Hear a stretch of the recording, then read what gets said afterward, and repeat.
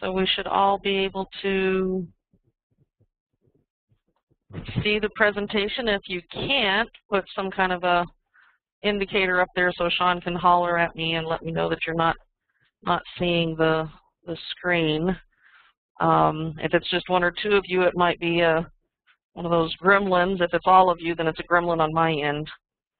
So, um, so I'd like to welcome you all here on this snowy November morning, at least for those of you here in Colorado in the snow. If you're in Florida, I don't want to hear it. the drive-in was not pretty. You know how it is, that first real snow that gets the roads all all bad and everything, everybody forgets how much, you know, effort it takes to, to drive on snow. And I also heard this morning that uh, a large part of our migrants in the past year have come from California and they might not know how to drive in snow, so that could explain a lot. So everything, everybody should be situated now as Sean gave you all your tutorial on how this is going to work. Uh, I'm going to try to keep myself on time and on task. Um, Sean might have to holler at me. I sometimes get squirreled, as we say around my house, a little off task. But what we're going to do today is um, kind of look at some of the things that are going on in the world of neuroscience and look at some of the things that are going on in the world of academia, specifically looking at the educational psychology aspects and trying to bridge those two um, entities because for many, many years the two had not talked to each other. They didn't communicate. They pretended the other didn't exist. And there was a lot of skeptics out there that that insisted that neuroscience and and the educational psychology world did not come together. And in the past couple of decades, we've started to realize that, yes, they do need to come together. Yes, they do have relevance to one another, and we are now starting to play in the same sandbox and attempting to get along. So that's that's my attempt here is to show you where that bridge is and to focus more. Um, I mean, the whole thing could be several series of, of webinars but the focus is to, to show you that bridge between education and neuroscience, specifically in engaging your students and motivating them and keeping them motivated. Because I know in an online situation, sometimes that becomes a challenge. And a lot of the stuff that I'll tell you today is relevant to face-to-face -face as well as online. But I do have a, a, special segment at the end of the presentation in terms of focusing on uh, an online platform and how we can engage and motivate our students knowing what's going on in their brains. So during this presentation, you will be introduced to that synergy of, of neuroscience and education along with their direct application to teaching with an emphasis on the engagement and the motivation. And kind of like this cartoon, as I mentioned before, the two worlds never really spoke. We thought, well, yeah, there's this education thing and then there's this brain thing and something in the middle might be happening. There might be a miracle occurring, but we're not sure we're not going to talk about it. And that's, that's kind of where we're going to take it today. So while brain research does not provide all of the um, answers to our educational problems, when the research is well grounded and, and correlated with strategies and actions that are consistent with knowledgeable interpretations of the research, we can successfully apply that knowledge to learning processes and we can make use of the brain's natural learning tendencies. As a, you know, if, if there's a basic understanding of the educational neuroscience, it can uh, guide the person in the classroom, or in this case, in the online platform, it can guide you to improving your student motivation and, and your students' engagement. So let's kind of look um, at the brain itself. We're going to take a short uh, central nervous system anatomy class real quick, just to get ourselves a, a roadmap of what we're talking about. So when we're looking at our brain, the adult brain has uh, a few different regions to it that are going to be of importance to us. We have two cerebral hemispheres. We have a diencephalon. We have the brainstem, and the brainstem itself is subdivided into the midbrain, the pons, and the medulla. And then we've got the cerebellum, which is kind of the, the little brain, uh, is what somebody, some people refer to it as. And in the brain, the cerebrum and the cerebellum have an outer gray matter layer called the cortex. So if you're taking a look at that outer gray matter. So we're going to look at this, this bottom part right here first of all. Um, that's what we're talking about, this two to four millimeter layer of gray matter. And then down here is the white matter, and then deep within that white matter, there's some basal nuclei that are embedded. If we come more superficially and look at the whole, um, look at the cerebral hemisphere itself, we're just looking at one now. Remember, there's two. There's a right side and a left side to it.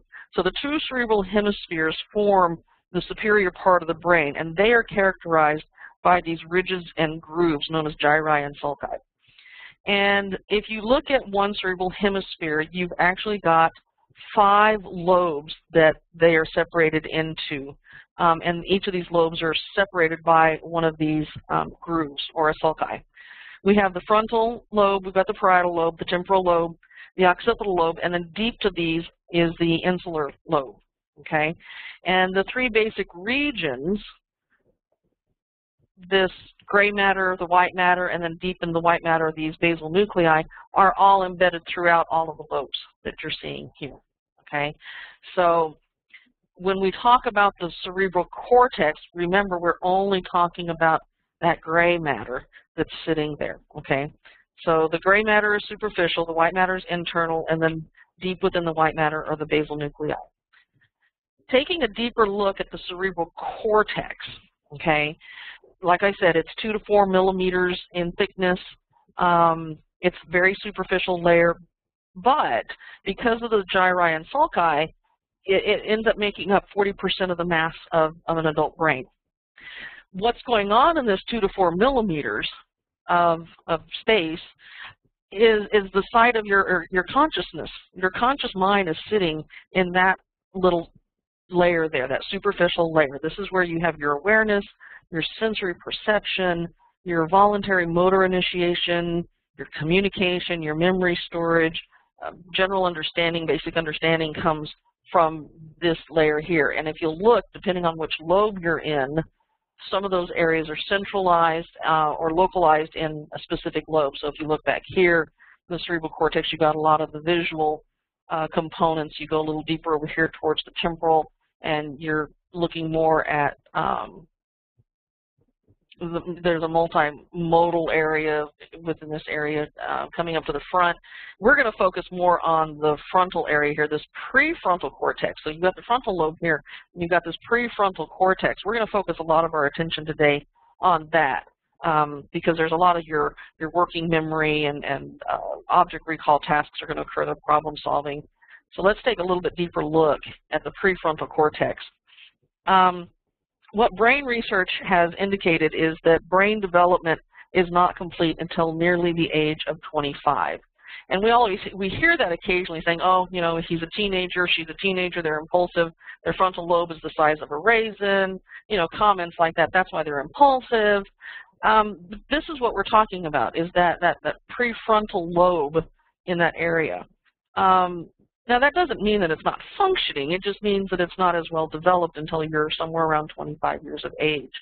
Um, it, it, it's an interesting component because it has a lot to do in terms of what's going on in there, the maturation process.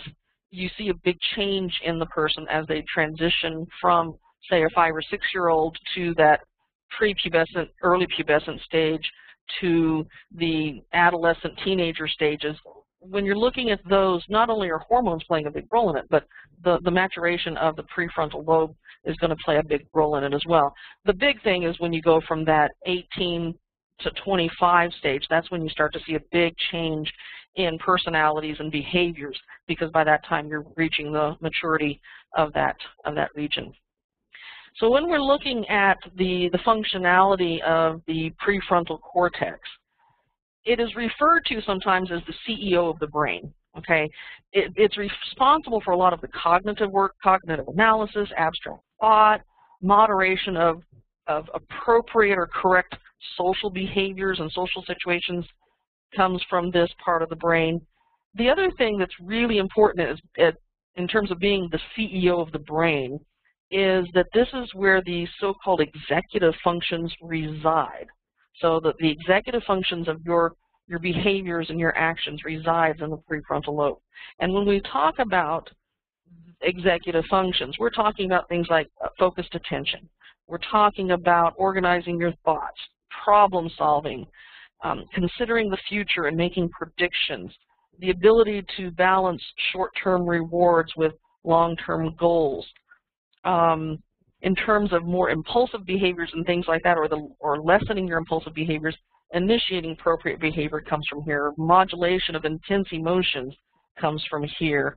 Um, the impulse control and delaying gratification comes from here. So as you reach that maturity of the prefrontal lobe, these executive functions are more mature and, or, and more honed in. And we're going to look mostly at the prefrontal cortex in terms of some of these executive functions. We're going to look at the focusing attention, the problem solving, the making predictions, the considering the future, the balancing the short-term rewards with long-term goals, because those are very relevant to what's happening in a learning environment, whether you're in a classroom or you're in an online platform. This is what's really relevant to, to the learning process. So let's step away from the anatomy lesson for a moment and, and look at this question here. Why do so many people spend so much time on Facebook? I could change that and put the bird up there and say, why do so many people spend so much time on Twitter? What is what is it that is attracting everybody to spend so much of their, their effort, their, their waking moments, and sometimes they stay awake because they are focused on their Facebook page or they're busy tweeting out. What is it that's the driving force behind this? Okay, think about, you know, if you're a Facebook fan, if you're a Twitter fan, think about what it is that drives you to spend that extra moment or or delay dinner a little bit or delay going to bed because you're working on it. Think about your own personal being. And if you're older and you've got teenage kids or something like that, try to think about what puts them into that situation. What is it that drives them? I'm going to give you a second to think about it. Okay, research. Now, granted, Facebook hasn't been around that long, neither has Twitter, but we've been able to collect a lot of data, and research has found that there is a link between a person's drive to build a better reputation and the intensity of their Facebook usage. Same thing goes for Twitter, okay? The activities actually stimulate a reward center within the brain. There's a component within the reward center known as the nucleus accumbens, and it is this component that figures into a wide variety of cravings and Facebook and Twitter and similar uh, electronic stimulants, shall we say, fit into that craving category. Um, and this is the same craving that people get when they uh, crave food, when they crave sex, when they are getting into a gambling crave, um, alcohol, those kind of things fit into that reward center and are stimulated by that or stimulate the nucleus accumbens and Facebook and Twitter and these kind of interactions do the same thing. So let's look at this reward center, this reward circuit in a little bit more detail. So the areas in our brains whose role is to provide a pleasurable sensation, which is what we refer to as that reward, is important because it actually carries out vital functions, okay? Eating, drinking, having sex, displaying maternal behaviors are all activities that are essential for the survival of the individual and survival of the species. In the course of evolution, natural selection has associated strong feelings of satisfaction with these behaviors to meet the basic survival needs. Uh, it, if you take a look, there's a veritable reward circuit that evolved to encourage the behaviors so that subsequently the circuits can expand to encourage us to repeat those survival behaviors. As a result, though, of expanding that reward circuit for survival and basic needs, we have also ended up expanding those to pleasurable experiences that we learn in the course of our lives. And we're like, oh, that feels so good, so let's do it again, you know. And it's beyond just the I need food, I need to reproduce the species, I need to be maternal to my offspring. It has become more than just that. So the structures, if we look at the, the structures within, they're very interconnected with one another and they form this, this circuitry um, we've got something known as the ventral tegmental area, or VTA. It's a group of neurons at the very center of the brain. It plays an essentially an important role in the circuit. It receives information from several other regions, um, telling us, you know, how various fundamental needs are going to be satisfied. How, you know, how are we going to get that satisfaction taken care of? Um, the VTA then forwards the information to other structures, um, such as the nucleus accumbens, which then sends information to, from the nucleus accumbens, the VTA uses particular messenger to communicate between it and the nucleus accumbens. And that messenger that it communicates with is a neurotransmitter known as dopamine. And dopamine in, can increase the when you increase the level of dopamine in the nucleus accumbens, and in other brain regions, it reinforces the behavior which will satisfy those those needs. Okay, so you you start getting into this kind of a feedback loop when you start getting that. Okay, I need this. I'm going to release some dopamine to do the communicating, and as you release more dopamine, it feels good. So you start to do things to reinforce that release of the dopamine. Um, the site where most drugs act, you know, when you're talking about um, meth or coke or you're talking about LSD, you're looking at an area um, that in this reward circuit, that's what's being stimulated by these drug dependencies and what tends to amplify that drug dependency. So the reward circuit, you know, other than the drug dependency, it, it's it also includes several other structures. The septum's involved, the amygdala is involved, prefrontal cortex is involved, and then certain parts of the thalamus are also involved. And each of these structures appears to participate in its own way in various aspects of behavioral response. Now, when we're looking at all of this interconnectedness, um, what we do see is that these centers are not only interconnected with one another, but they also innervate the hypothalamus. So if you look at the red arrows here, okay, you're looking at that innervation with the hypothalamus, and that in, is in informing it of, of the presence of the reward. Okay, so the lateral and the ventral medial nuclei of the hypothalamus are especially involved in the reward circuit. And then the hypothalamus can act in return not only to the VTA, but also to the autonomic nervous system and to some of the endocrine functions throughout the body. And, they, and it does this through the pituitary gland in terms of releasing certain hormones. Okay, and so then you get this bigger rush because you've got more chemicals in the body that you're having interact with one another just simply by a few stimulations of the dopamine hitting the right parts of this circuit. So let's take a look at, at dopamine. Um, so it's a part of the network that plays a, a, an important role in cognitive function. So it's not only the drug addiction components that we're going to be looking, you know, we're not going to look at those right now. We're going to look at the impact that it has on cognitive function. And although multiple dopamine receptors have been studied, um, there's uh, one subtype in particular that tends to impact learning and memory, and that's the D1 receptor. It seems to play uh, a more prominent role in mediating the neuroplasticity and mediating specific aspects of cognitive function, including spatial learning and memory processes and reversal learning, extinction learning, incentive learning, or some people know it as, as incentive motivation. All of those have are impacted by uh, release of dopamine. It has been established that dopamine is uh, dopamine in the brain is an important goal-directed chemical in terms of your behavior. So goal-directed behavior is very much so um, impacted by dopamine. Okay, so it's a very important neurotransmitter. When we're looking at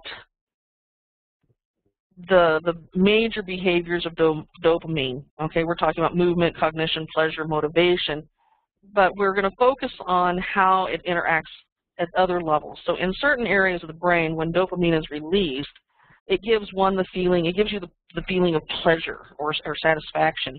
And these feelings of satisfaction become desired. And the person will grow a desire for that satisfaction. So to satisfy that desire, the person will repeat the behaviors that causes the release of dopamine. So let's let's take, you know, for an example, if you look at food and sex, they release dopamine. That's why a person wants food, even though their might their body might not be craving, it might not need the food, but you crave the food. okay? Or the same thing with sex. There's a, just that certain thing of, you know, I don't need to reproduce the species right now, but there's a craving for that sex, and it's driven by, by the dopamine. So the two behaviors scientifically make sense because the body needs food to survive and humans need to have sex to allow the species to survive. However, other less natural behaviors have the same effects on, on your dopamine levels and at times you can even be, it can be even more powerful. And often the behaviors can result in addiction due to the effects of the dopamine, and the addiction can then have negative effects on, on your well-being. So, um, you know, and the, these would be the, the examples of, you know, the chemical addictions, whether it be alcohol or other drugs or uh, gambling, things like that. Or, you know, if you become addicted to Facebook, you could always blame your dopamine levels. So extra dopamine is released when there's an enjoyable experience. So dopamine helps control the brain's reward and pleasure centers. It also helps regulate movement and emotional responses, and it enables us to not only see rewards, but to take action to move towards them. Okay, so if, if you're talking about an addiction, that's, that's kind of the way the addiction works, is you get that feeling and the dopamine actually helps you not only feel good about that stimulus, but it also pushes you to drive for more. You take action to move towards more pleasure and getting more dopamine released. And it's an additive effect because the dopamine stimulates a handful of neurons and then those neurons reach out with their dopamine and stimulate more neighboring neurons and you get this kind of amplification process going. So consequently, the boost in dopamine not only increases your sense of pleasure, but it also increases other neurotransmitters. So not only is dopamine getting released, but now you get things like acetylcholine um, that is responsible for uh, enhanced alertness and memory, and you get some more of the executive functions getting involved because of the acetylcholine. Um, and remember, those those executive functions are important in terms of learning, motivation, and engagement because this is where you get your focusing of attention, this is where you get your problem solving, this is where you get your forming strategies and planning. So the dopamine is not the only culprit, but it is the, the precursor. It's the one that starts the whole chain reaction off. Now, besides acetylcholine, another important neurotransmitter that dopamine interacts with and, and helps to stimulate is serotonin. Okay, and serotonin can affect mood, appetite, sleep, as well as cognition, learning, and memory in particular. So looking at, at dopamine, biochemically it's derived from the amino acid tryptophan, okay?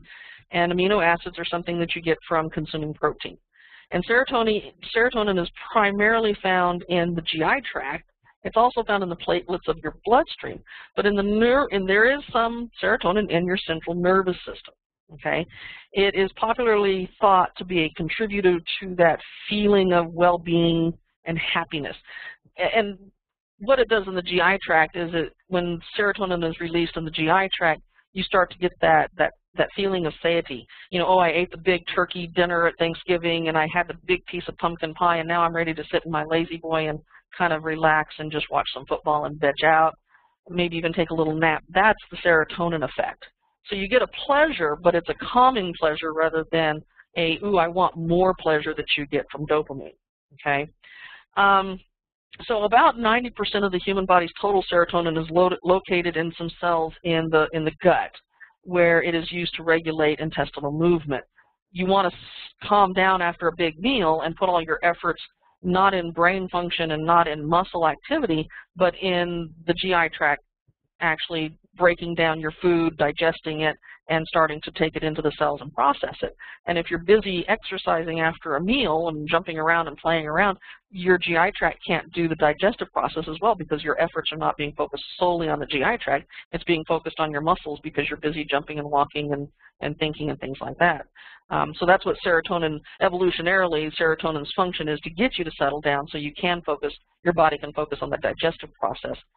But let's look at the remainder of the of the serotonin. Okay, the so we got 90% of the gut. Let's look at the other 10%. The remainder is synthesized from specific neurons in the central nervous system where it has a variety of functions, um, including the regulation of mood, appetite, and sleep. Okay, but it also, as I mentioned before, it also has some cognitive function, uh, impact on cognitive function in the learning and memory areas.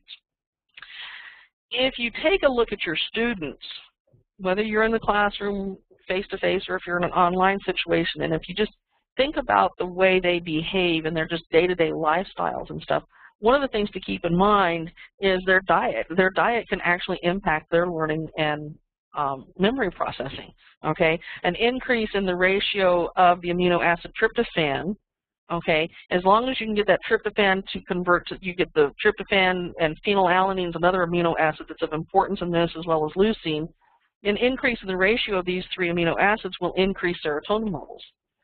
So fruits with a good ratio um, are something good to have. So if you're going to need a lot of learning and memory going on, one of the things you can do is prepare for it by eating properly. You know, things like dates and papayas and bananas. We don't think about those as brain foods and stuff, but they are. They're really good brain food because of the, the ratios that you're looking at in terms of the tryptophan, the phenylalanine, um, and the leucine, and being able to do that. And so, you know, there's research out there that suggests eating a diet rich in carbohydrates and low in protein will increase your serotonin, by secreting insulin, okay, which helps in your amino acid competition.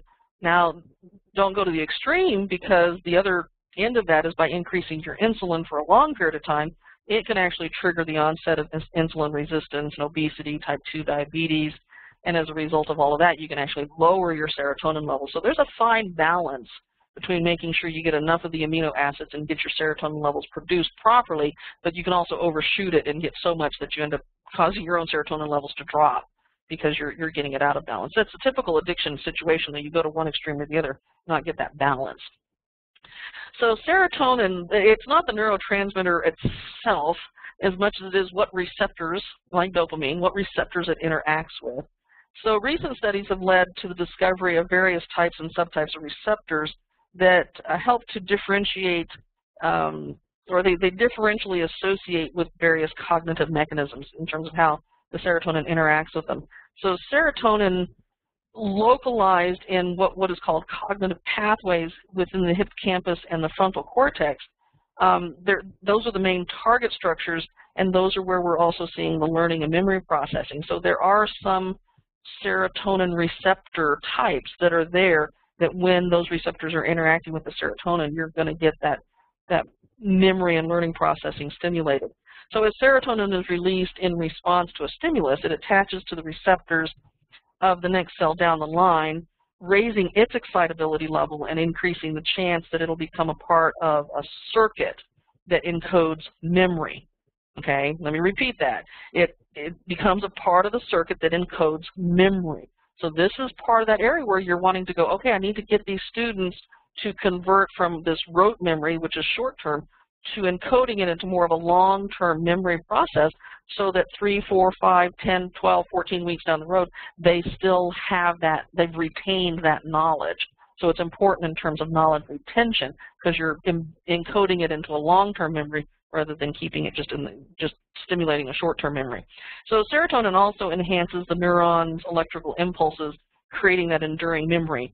The, the response these responses um, turn on at different stages of development and underlie two distinctive types of learning, one known as sensitization and the other one known as dishabituation, which also is referred to as desensitization. So, you know, you can go back and look at Pavlov's dogs and some of those situations, and that's what we're talking about in terms of decreasing or increasing response based on your stimulus. Um, if you're thinking in terms of sensitization, let me think of an example. Um, something happens and you it keeps happening to you more and more and more, and every time it happens to you, you get a little more bothered each time until finally you kind of erupt. You know, you, you either do something about it or, you know, there's just somebody that's really getting on your nerves because they keep doing the same thing over and over again, and it just makes you explode. That's sensitization whereas habituation or desensitization is just the opposite. If that same thing happens to you more and more and more, instead of getting bothered by it and irate and, and blowing up, it bothers you less and less. You become desensitized to the stimulus, okay? And so serotonin's involved in those two type of, of behavioral processes. So just putting the, the dopamine and the serotonin together, okay, there's this mesolimbic pathway which you're, you're looking at um, that involves this, you know, look at the dopamine, you look at the serotonin, the pathways, you're looking at a lot of the same structures that are going to be involved, the VTA, the midbrain, the limbic system, the nucleus accumbens, the amygdala, the hippocampus, as well as the medial prefrontal cortex, all kind of interacting in some way, shape, or form, either the same exact locations or some differentiation there, but there are some overlays between where dopamine and serotonin pathways are going to interact and cross over one another where you're talking about, you know, the dopamine in terms of the reward motivation. You're talking about pleasure, euphoria, uh, motor function, compulsion, perseverance, whereas the serotonin pathways, you've got more of the, the subtle mood, you've got the memory processing, you've got the sleep, you've got the cognition. But there is some balance that has to occur between the two um, the two uh, the two neurotransmitters. So the this mesolimbic dopamine system that we're looking like is widely believed to be a reward pathway. Now there might be more reward pathways. This is just the one that's best studied, but um, there is still some question in terms of this: is this the be-all, end-all, or is there are there other reward pathways we need to understand with other neurotransmitters as well? Like I said, this is the one that's most studied, but there there's still some question out there as to you know there's got to be more to it. It's got to be more complex than what we've narrowed it down to. Um, but one of the things that we do know that we can look at in terms of these two neurotransmitters, and I've kind of alluded to this before, serotonin is kind of the zen master among the neurotransmitters. It's linked to the tranquility, it's linked to the reason, the calmness, whereas dopamine is more of the, the Pollyanna among neurotransmitters. It, it only really responds to the good stuff. Okay, in our in our dopamine system, when it's active, um, we're more positive, we're more excited, we're more eager to go after goals and rewards, whether it's food, sex, money, education, professional achievement. Um, and it, it, suggests that people who are goal-directed, you know, the Steve Jobs of the world, the, um, the, you know, the CEO of Yahoo and, and Hewlett-Packard and things like that, those type of goal-directed people um, seem to not only be motivated, but because of the not only the dopamine, the Pollyanna of the world, but because of the Zen master, they tend to be very, they generally tend to be happier people. And um, there has been some studies, you know, just interviews with some of these big CEO types, these very motivated uh, overachiever types, and the, the study has revealed that a lot of them actually do spend some time meditating, and there's got to be that balance there. So they are really um, nurturing their Zen master, their serotonin, as well as being driven by their dopamine, and they have a good balance. Because if they didn't, they wouldn't get where they're going. So they've, they've found that balance between their Zen master and their Pollyanna.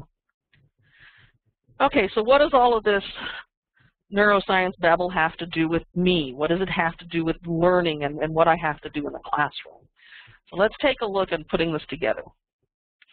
Have you ever been in a preoccupied state of mind, preoccupied with thoughts um, when you're attending a session, whether it's this one currently, or you're sitting in another workshop and face-to-face situation, you know, I'm I'm thinking about, oh, let's see, when are we going to get a break?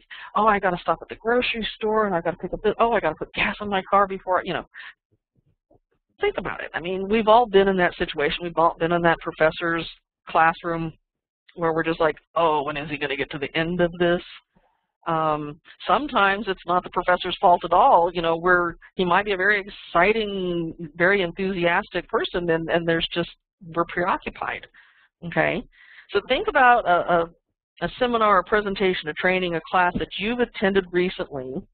What are some of the specific things that the presenter did that got or held your attention? Just think about it a moment. Sit, put yourself back in that spot and go, what did they do that not only grabbed my attention, but helped me to sustain that attention? Okay? Put that, put that on side of your brain for a second. Now, conversely, what were some of the things that either that presenter or another presenter did that were irritating, boring, or both? Okay,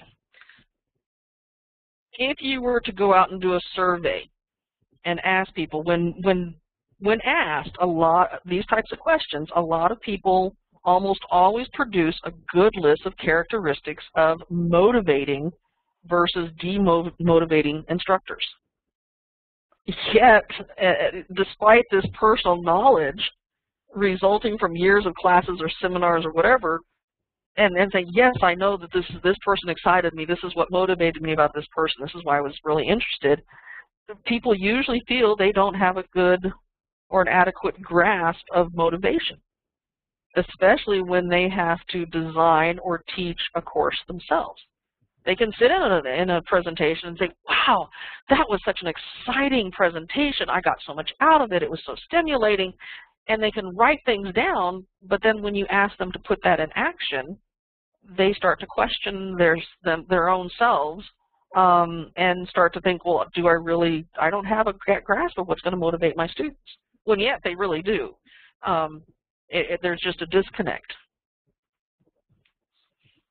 So back to our boring student situation, what do we do about it? Okay, so when a student feels bored, research shows that there are, they, they actually are aware of their own difficulty paying attention. Okay, we're doing more and more research on this and finding out that it's not that they're bored and they don't realize that they're bored. They actually do have some realization and some consciousness about the fact that they are having a hard time paying attention. And a student may attribute the experience to not being interested in the material or in the lecture style because of some learning modality. But new studies show that stressors, that any stress or distraction that takes up working memory, from the emotional trauma to attention deficit hyperactivity disorder, all could contribute to this feeling of boredom or this lack of focus. Okay, so it's not just that you're, you know, you might be the most animated, most theatrical lecturer there is, and you'll still find that one or two student in this 200 or 300 room lecture hall. You might find one or two students that are still quote unquote bored eh, or not focused, and it has nothing to do with you as the lecturer. It has nothing to do with the material or the content.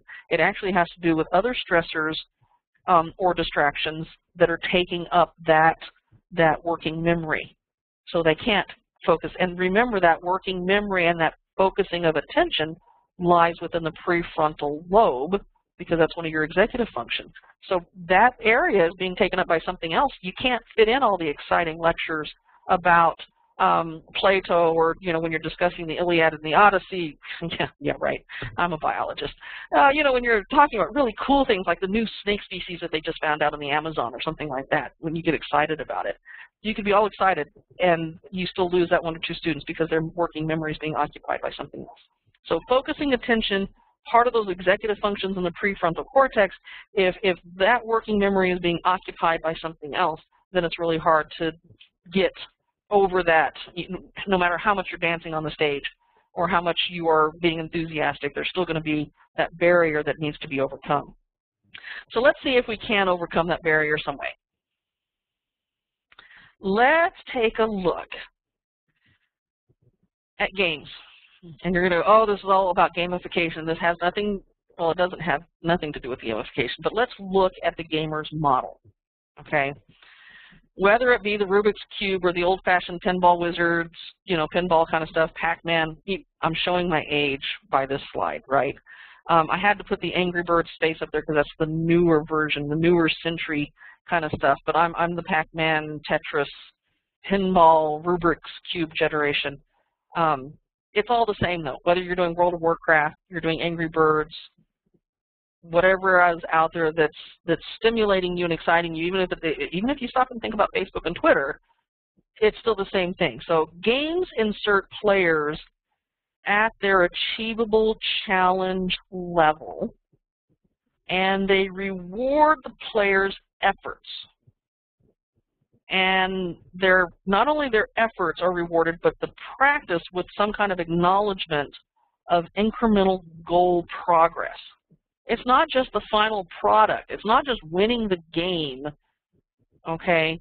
It is getting to go from stage one to stage two or level one to level two, and each time you move from one of those levels, you get, okay, I've achieved this.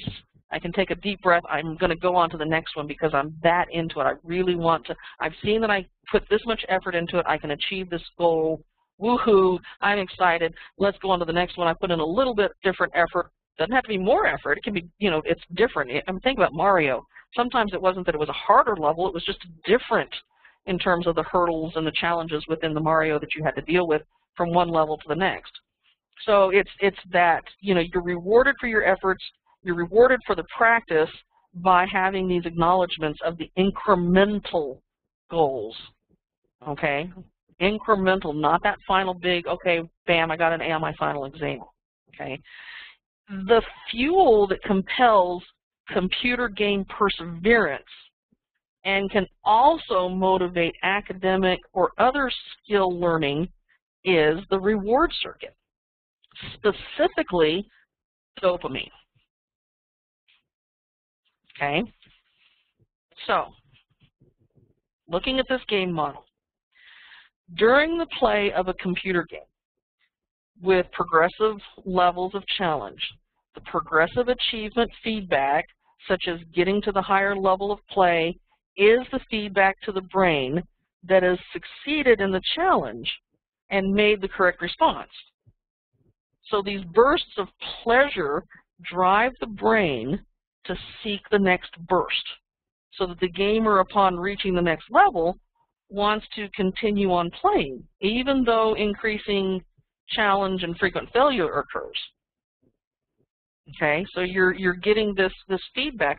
You know, when you look at this right here, as you get this burst of pleasure, you your brain seeks a little more of a burst.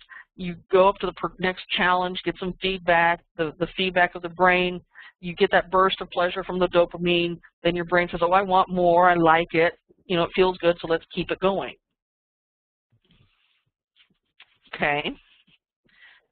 Actually, if the level of play does not pose new challenge, it doesn't have to be more complicated, it just has to be a new challenge, the gamer loses interest as the dopamine reward response will not take place if there is no new task or no new skill to master. Okay? So it's not necessarily that it's more complicated or it's a higher quote-unquote level. It just needs to be a new challenge. Okay? Uh, if you don't get that, game over. You don't, you're not getting that pleasure feedback loop going, so you just, you know, you don't get the response stimulated, you start to lose interest, and you shut down the game and you go elsewhere. Okay? And that's something that we've got to keep in mind when we're in in the classroom, whether it be an online classroom or, or in a face-to-face -face classroom. We don't want this. We want the previous slide. Okay. Norma, you're not making a whole lot of sense here. You're, you're throwing some things out there. You kind of got my attention, but how does this connect to learning? Okay, where's that bridge that you keep telling me is occurring between all of this neuroscience and what I'm going to actually do in the classroom? So what we've got to do is the, the same brain processes and neurochemicals that compel people to skip meals, to skip sleeping because they would rather play a video game needs to be activated by the, the, the teacher, by the faculty member, by the instructor, to increase the brain's motivation to be attentive, an attentive class participant, to do homework with focus, and even reverse that negative feeling about school and ignite that joy for learning. We've got to tap into that same pleasure loop as the games do to make sure that it's like, oh, God, I had such a rotten day at school. I had to sit through all these boring classes. I just, oh, and I've got all this homework. I just don't want to do it. I'd rather go, you know, sit in front of my video game, whether you're, you know, into PS2 or whatever. See, that's how bad I'm out of it. But you would rather do those things rather than study. What is it that we are doing wrong that we're not getting those bursts of dopamine in our students' brains? Now, these students look pretty happy. These look very engaged. Both of them look rather motivated. Okay, what is it that is being done right in these situations, okay, that's not being done right in those situations where the student walks out of the classroom going, oh, I didn't get anything out of it. I would have had more fun hanging out at the student union. Okay, so what do we do with this? What, what do we do with this information? Okay, Norma, you're telling me that we're missing out on that, you know, if I'm a gamer, I want to skip sleep, I want to skip meals, I love that dopamine release, but for some reason we're not doing it in the classroom and you're telling me to reverse that and figure out how to do it. What am I going to do? How, how do we take care of this? Okay, step, not, I don't know, I don't want to give it to you as a step one, step two. Things to keep in mind, okay? Meaningful learning occurs, okay? Meaningful meaning that you're going to start tapping into those executive functions, you're going to start tapping into that reward circuit by making sure that what's happening in the classroom, whether it be online or face-to-face, -face, that meaningful learning is occurring. And that happens when we transition from the teacher-centered environment to one that is learner-centered. And if you think about what education is all about, is it about the teacher? No. It's about the learner. It's not about the student. When we talk about teacher-student relationships or teacher versus student, we're not talking about what's going on or what is supposed to be going on. What is supposed to be going on in that classroom is learning. And that does not happen when you're the sage on the stage. It does not happen when it's all about the teacher and the teacher's experiences in the Galapagos Islands or the teacher's experience in Madagascar or the teacher's experience. You know, yeah, that adds to the enthusiasm, that adds to the passion, but it isn't about the teacher. You've been there. You've done it. You've got your degree. You've succeeded. It's all about the student, and we've got to make it about that learning process. So we need to make it learning-centered to make the learning meaningful.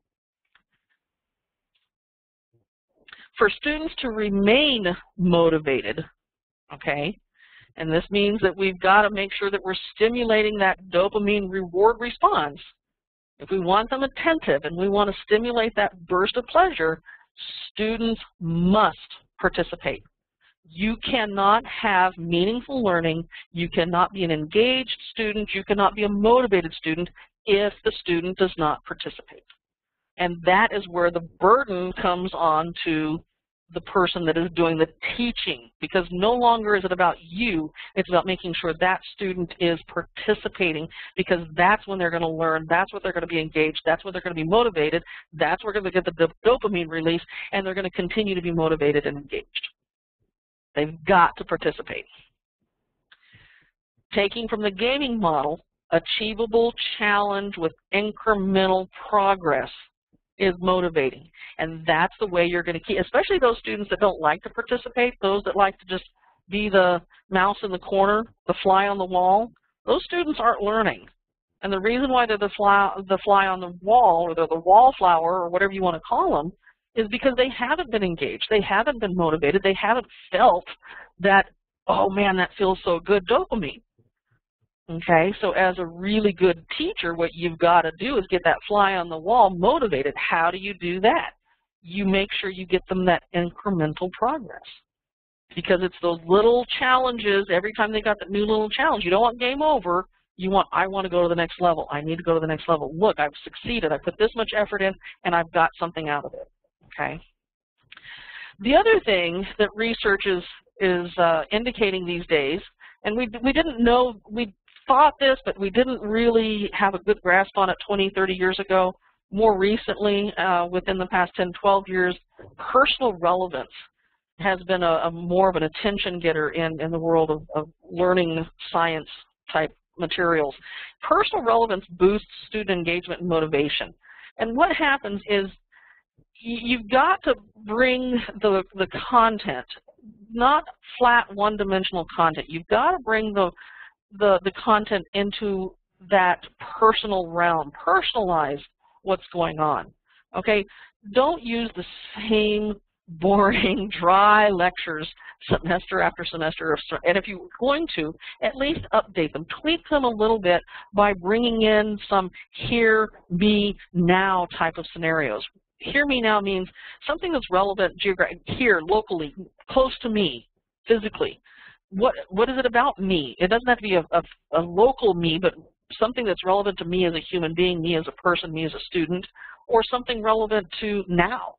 If you're talking about the Civil War, if you're talking about the, the War of 1812, make it relevant to now as well. If you can bring that historical aspect to the present day, that's going to be more personal relevance to the student, and it's going to boost their engagement. It's going to boost their motivation.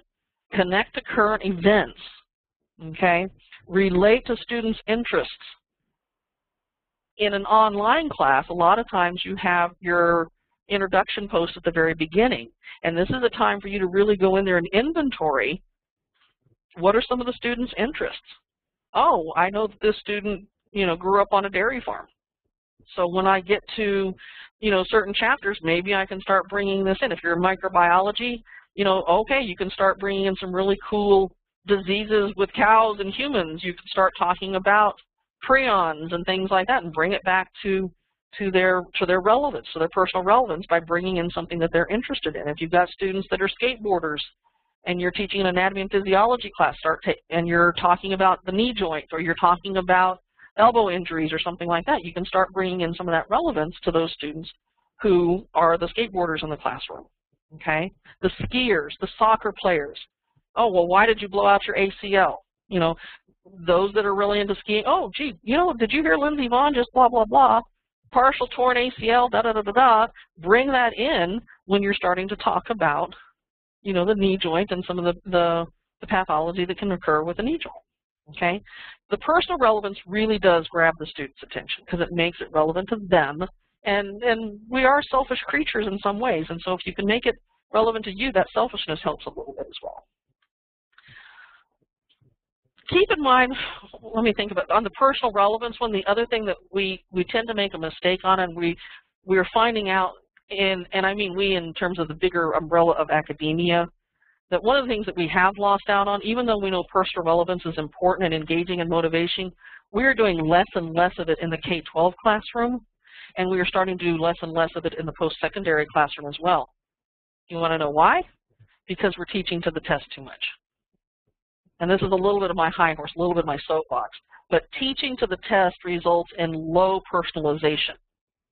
And that gives little opportunity to recognize that incremental progress towards personally meaningful goals, which comes back to those executive functions in the prefrontal cortex. So the idea is we need to get away from that teaching to the test because that's where one of the areas that we're losing the students in terms of engagement and motivation. Okay, encouragement. It helps the students and it helps to acknowledge that incremental progress. And, and teaching the test, you just don't get that. You just really miss out on that. So that's just something to keep in mind. Long-term memory increases due to memoral engagement. What does this mean? Once again, it is that if you can transition and get the serotonin to get involved a little bit more, then you're not putting things in short-term memory, you're getting things to get put into long-term memory, and that is going to occur if you have memorable engagement. If they can link that piece of knowledge to some other memory or something else relevant into their memory, then it gets stored in long-term memory rather than short-term memory. It comes back to the personal relevance, or it comes back to the here, me, now. It comes back to the current event, something that is already in their brain in a memory storage component if you can link it to that, you don't have to personally go in there and say, well, let me have an experience that I can show you to link it to. You've just got to bring it out there so where they can go, oh, you mean like, okay? One of the things that is really interesting in, in anatomy and physiology is when you start talking about the rhinencephalon, okay, part of the brain that has a lot to do with smell, okay, and you go, well, do you ever have that occasion where you get on an elevator with somebody and you smell something and all of a sudden you flash back to seventh grade Valentine's Day dance, you know, and you're 40 some odd years old and you have that flashback because somebody was wearing polo cologne in the elevator, you know, and you start to talk about that, you start talking about the limbic system, you talk about, you know, and all these cool things, you make that link going, oh wow, I had this flashback. If the students can make those connections, then that new knowledge that you're giving to them, that you're presenting to them, you're giving them the opportunity to learn, that knowledge retention is going to be much longer and greater if they've got memorable engagement, because then it's going to get stored in long-term memory instead of short-term memory. The other thing is that when students perform tasks, their brain is going to retain the information about the task much more, much longer and in much more detail. Okay? So this is, and I know there's going to be students that are going, oh, but I'm not a tactile learner. I'm not a kinesthetic learner. Yes, they are. They just don't realize that it doesn't mean that you have to be the best model builder on earth. It doesn't mean that you have to be the best, but when they're actually performing the task, whether it's drawing it or performing the piece of music or whatever it is, as long as they're performing something, not just sitting there like a mushroom listening to some lecture capture. If they're active in that by performing a task relevant to that, they are not only going to learn it better and deeper, okay, they're going to learn more details about it, and they're going to retain it longer, okay? Immersion in complex experience naturally leads to some processing, but the processing is improved through appropriate facilitation. What does that mean? If you have immersion in a complex experience, it's naturally going to lead to some processing, but the processing is improved through appropriate facilitation. Now let's, are we going to dissect the sentence? No. Okay. So giving learners the opportunity to work in a laboratory setting, for example, okay, or attend a field trip. Okay, we're all told, yeah, that's well and good, that's all exciting. That's not enough. Okay, yes, we just said performing a task is going to help them deeper, longer, so on and so forth. You've got to immerse them, okay, because just going through the task without a conscious effort, just manipulating something without the thought going into it and without the total immersion in it, they're not going to get as much out of it. I mean, that's why a lot of the linguistics uh, will tell you if you want to learn a language, don't just sit there and listen to your headphones and try to memorize the alphabet in, in Spanish or learn a few Japanese phrases that are going to get you through the market, the best thing to do is go live there. Go to Mexico and live in Mexico for six weeks. Don't take your English-Spanish dictionary with you either. the immersion is what's going to help you. So immersion in those complex activities. So if you're in a laboratory setting or if you're in a field trip, being there, I mean, you can be at the field museum all you want, staring at the cool mastodon, but it's not going to mean much to you unless you're immersed in it, unless there's really good facilitation. And this is where the teacher has to get involved to make it a more active process. So they must actively process, the students must actively process that experience and connect it to the larger learning objectives. And this is where a good faculty member, a good teacher comes into play. The teacher's role as facilitator of learning is to engage the student in the conscious as well as the unconscious processing. And the student should be given the opportunity to reflect on that experience, draw connections to key concepts, and share their conclusion with others. If you don't have that, if you don't have the preparation before that lab experience or the preparation before the field trip, if they're not totally immersed in the field trip once they get there or totally immersed in the lab once they're there, and if you don't have appropriate follow-up, where they get to reflect, where they get to share with others, where they get to draw on those connections, then it's not going to be uh, an optimal learning process for them.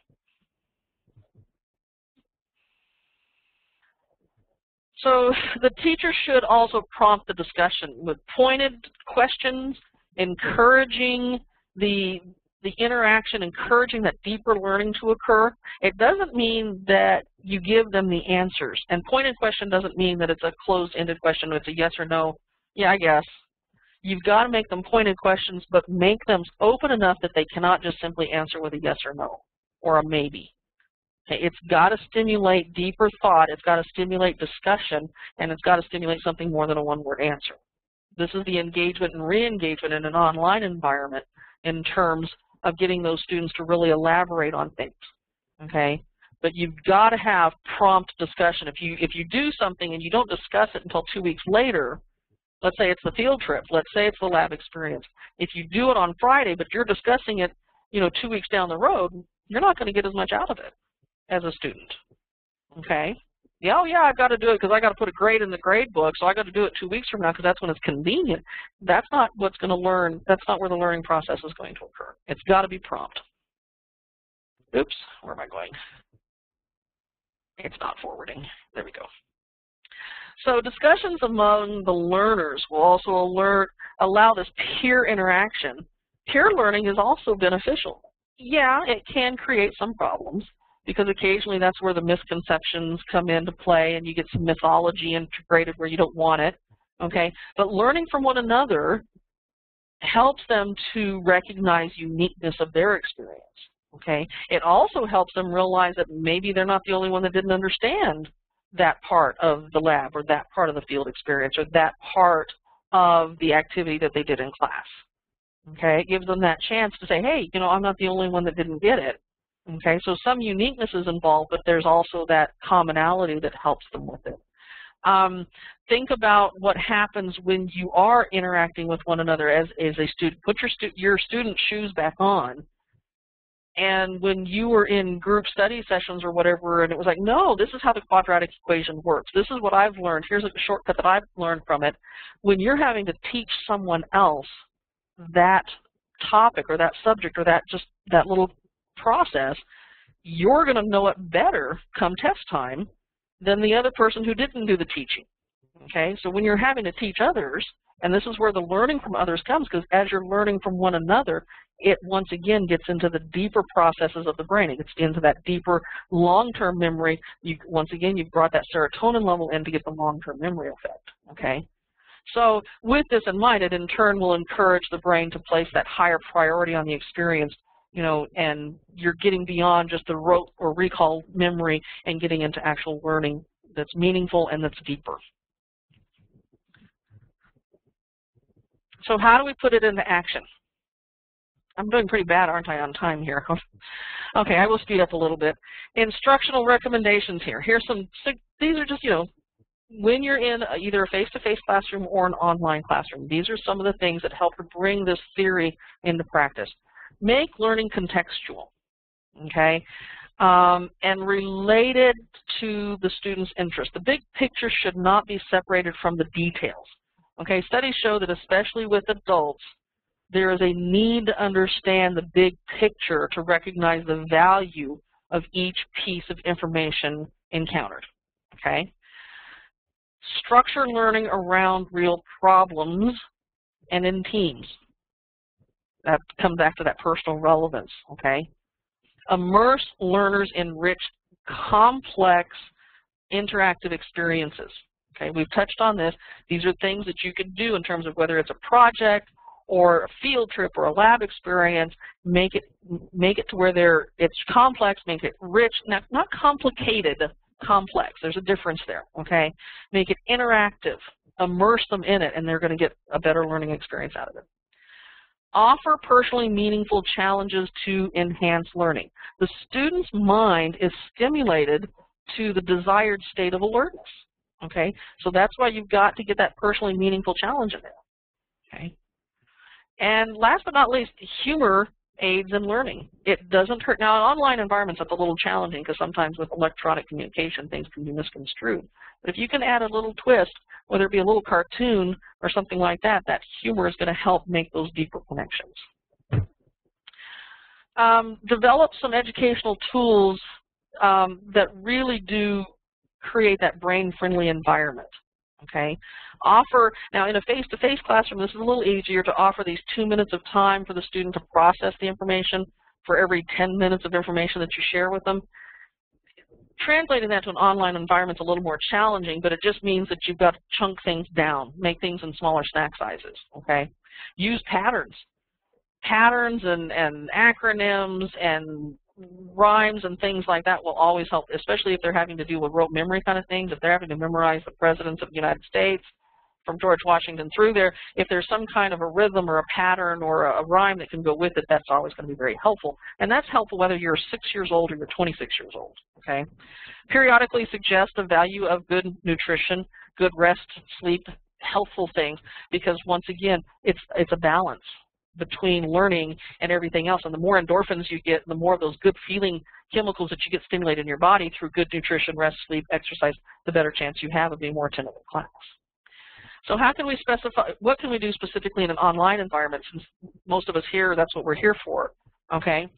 You've got to move the content from short-term memory to long-term memory through uh, a technique known as elaborate rehearsal. Okay, there's several different things that you can do for this. Role playing is one of them. You can do all sorts of little small group discussions and, and put them over in fish bowls and, and hot seats and things like that in discussions. Get them to role play. Get them to do some debates um, from a more pair experience as whatever. Art, it, it's amazing how just on a flat HTML page of nothing but text, even if you're just giving instructions on, you know, go to here, go look at this, analyze this, give a two-page um, essay on blah, blah, blah, even a little piece of artwork on that HTML page of nothing but black and white text one little piece of graphic or artwork makes a big difference, okay?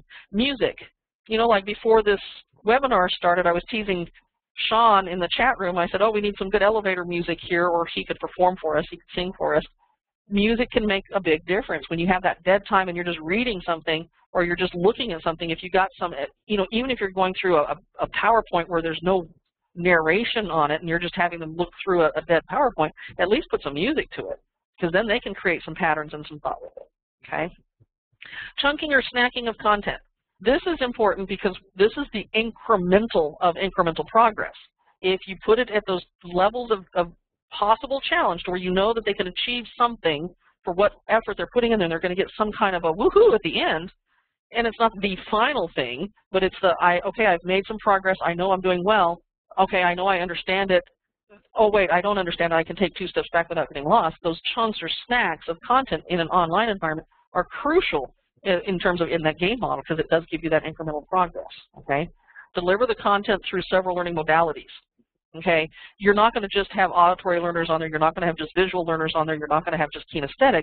And even the kinesthetic learner is going to benefit from auditory or visual modalities that are presented to them. The same thing goes for if you're an auditory, you're still, if you're immersed in some kind of a performing of a task, you're still going to get something out of it even if you're more of an auditory learner, okay?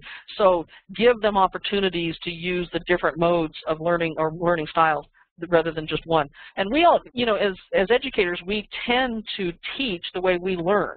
You know, if I learn better from having a lot of video clips, then I'll tend to have a lot more video clips in my class. If I tend to be more of a reader, I will have less video clips and less art, and I'll have just a lot of words on there. And that's not necessarily what your audience, your students, are going to be. Your students are going to have uh, a diversity of modalities that they learn by, but even those that have a preference, using more than one modality is going to be to their advantage. Um, increase attentiveness, you can do this by using some kind of an engagement piece or what we call a hook. Um, even if it's just a, a, a, directed question, if it's just an open-ended question, if it's just a little, oh, by the way, have you heard about, you know, the, the new rocket that went off, da, da, da, da, da, how would this affect, you know, the economy, blah, blah, blah. Just some kind of little driving question, some little tidbit YouTube video, some little music piece just to grab their attention. It doesn't have to be very explicit on the topic, but you can draw it in, and it just kind of gets their curiosity going. It wakes them up. It kind of gets them stimulated. It gets their attention to really say, hey, I want to open the door further, meaning I want to go further down this HTML page and, and, and see what else is there, okay? And make sure that you incorporate originality. Uh, you know, the publishers are doing really great out there. They've got some really good money to put all this interactivity, these animations and things like that. But sometimes putting your own personality in there, exuding your own enthusiasm in there is important to the students. So you need to incorporate some of your own originality in there to make sure that the students realize that this isn't just a can off the shelf that you bought at some super store, okay? Um, infuse frequent interaction. Don't let them go two, three, four weeks before you have some kind of interaction with them or where they don't have any interaction with each other for three or four weeks. If you're talking about a 15-week course, you should have interaction with them on a fairly regular basis, whether it's as a class as a whole, interactions with groups within the class, or with individuals in the class, that should be occurring at least on a weekly, if not within a couple of times during the week, okay? Interaction is critical, okay? For the dopamine pleasure feedback, you've got to, to provide e almost immediate, just at least prompt and, and frequent um, feedback. They need that to know that that incremental progress is occurring, and it's like, yes, I want to go to the next level. I'm not going to do the game over. You've got to give them those little bursts of dopamine. It doesn't take a lot, okay? It needs to be fairly prompt, you know, and in an online environment, we usually say 24 to 48 hours is enough because usually they're, they're posting somewhere at the weird hours of the night or whatever. But the, you can give little ones and more frequently and that's going to do a lot for them than giving them this big, huge feedback dump once a week. That's not going to do it for them. Okay, that's not going to keep them wanting to play the game. So to kind of wind things down, motivated, active learning. How do we do it? Evidence of that motivated, active, attentive, engaged learning, what is it? Well, when your learner is motivated, when they are active, when they are attentive, when they're engaged, okay, you will notice that they are making more observations. You will notice that um, they are noticing things with focused attention because they will be interacting with you. They will be demanding more interaction with you because they'll make better observations, deeper observations, and they'll want to communicate that. They will be doing more discovering, more thinking, more inquiry. Um, and when they start making those discoveries, they will also, once again, reach out to their peers, reach out to you going, hey, you know what, there was this listeria outbreak, blah, blah, blah, and they make that connection and they share it with, with you, with the class and everything else. They make those discoveries. They're thinking deeper. They're, they're taking that and making it personally relevant, um, which means that they're putting it more into that long-term memory. Engaged, motivated learners, okay, what this is going to do is if they are engaged, if they are motivated, if they're interested, because you've done a really good job of designing your course and designing the content in such a way that it is learner-centered and not teacher-centered, they'll be engaged, they'll be motivated, they'll be interested, and they will become self-propelled learners. And they will want to come back, and they will not have that negative and bad taste in their mouth about what school is all about. Engaged, motivated, interest, self-propelled, and that's what you as an instructor, you as a teacher want to do, and you can do it with taking some of these steps.